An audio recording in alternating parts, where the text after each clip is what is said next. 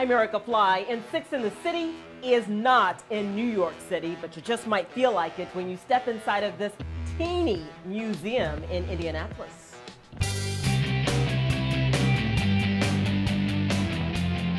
Here's Miss Piggy dressed as the Statue of Liberty.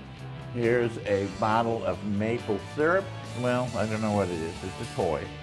Tim Herman has an uncommon collection. We have over 500 pieces of Statue of Liberty memorabilia. On display in a really small space. It's teeny, it's 10 by 16. Welcome to the Teeny Statue of Liberty Museum. Tell me the story behind this. It has to do with kind of the absurdity of what people do with the Statue of Liberty. You can see it all for 50 cents. 50 cents, I think, is a good fair price. A lot of fathers aren't lucky enough to get a Barbie for Father's Day, but I was. So that's the smallest Statue of Liberty in the teeny Statue of Liberty Museum right now. He's seen the actual Statue of Liberty from afar, but has no real connection to it.